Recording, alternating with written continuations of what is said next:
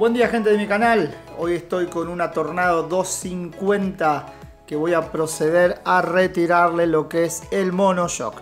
Para empezar sacamos el asiento que les voy a dejar indicado por aquí arriba cómo se saca y continuamos. Luego de retirar el asiento, eh, colocan la moto, tanto sea con un gato hidráulico, en este caso con un elevador que adquirí para trabajar más cómodo, porque vamos a tener que desprender el monoshock y nos va a quedar libre eh, lo que es el horquillón trasero. Si nosotros no sujetamos la moto se nos, cae, se nos cae la moto. Entonces sí o sí tenemos que empezar a aflojar todo lo que es las tuercas y tornillos y tener la moto desde abajo firme desde el chasis porque luego esto va a quedar libre, ya se van a dar cuenta.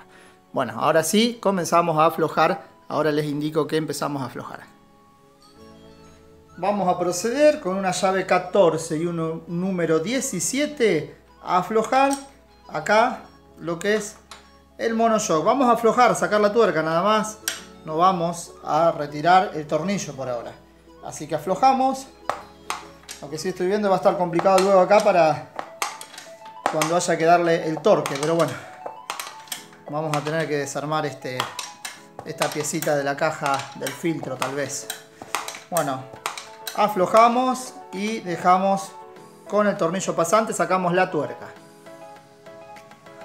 Ahora nuevamente con llave 14 y 17, esperemos que vean bien, calculo que sí.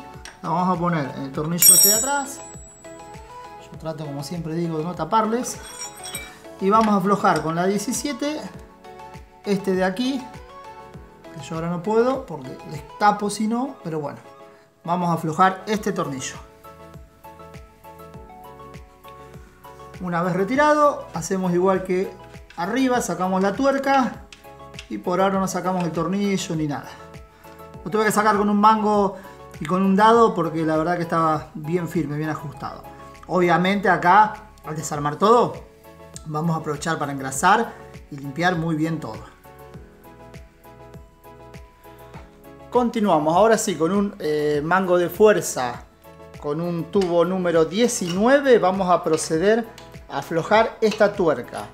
Si se nos mueve del otro lado tiene una llave Allen, como le digo yo, que la gente se ríe, una llave Allen de 8 milímetros que lo tendríamos que tener del otro lado para que este tornillo no se mueva. Pero vamos a probar a ver qué pasa. Bueno, no se movió. Fíjense que lo pude aflojar. Y retiramos también la tuerca.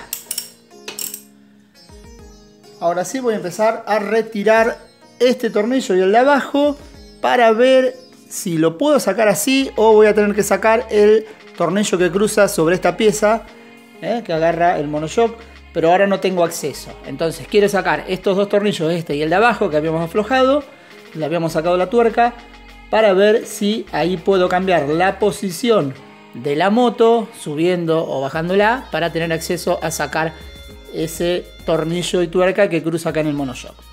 Un detalle a tener en cuenta, esto estaba clavadísimo, muy clavado. Esto no tiene rosca, pero si nosotros lo movemos va a destrabar, porque si vamos a golpear de allá, generalmente cuando tiene muchos años está muy clavado acá y no sale.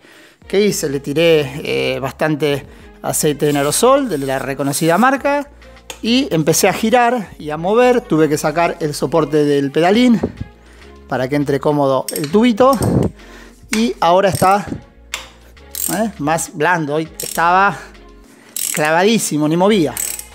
Entonces lo vamos a girar bastante como para que se vaya alivianando y luego golpeando del otro lado sin marcar nada con un taco de madera, bueno, con lo que sea vamos a tener que golpear ir girando y golpear para poder retirar este tornillo que la verdad que está bastante clavado.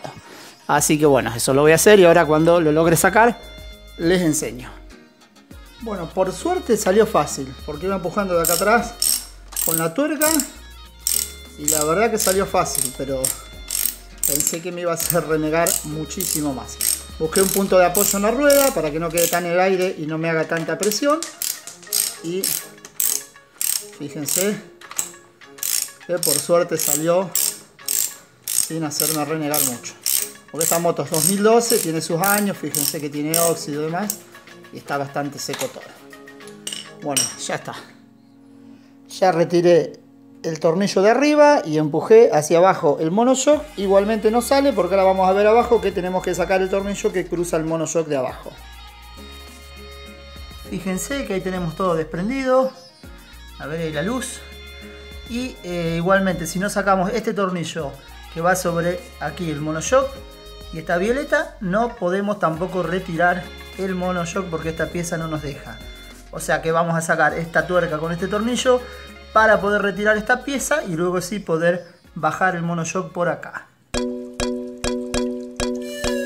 Me olvidé mencionarles llave número 17 para retirar esta tuerca.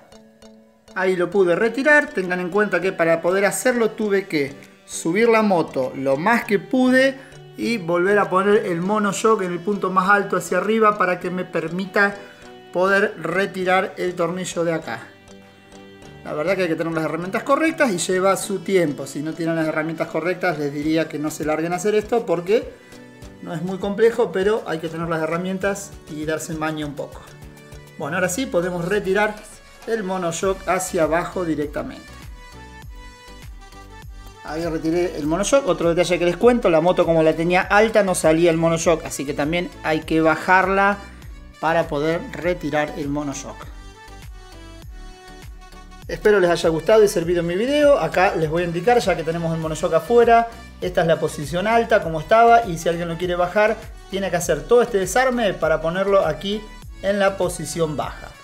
Para armar, básicamente van a limpiar muy bien todo, colocar grasa de rodamientos y demás, revisar los retenes que no estén dañados, si hay algún retén dañado lo cambian, lubricar muy bien todo, limpiar muy bien todo y volver a armar en el sentido contrario. Yo le voy a dejar en la descripción o en algún comentario fijado todos los torques correspondientes para volver a armar esto.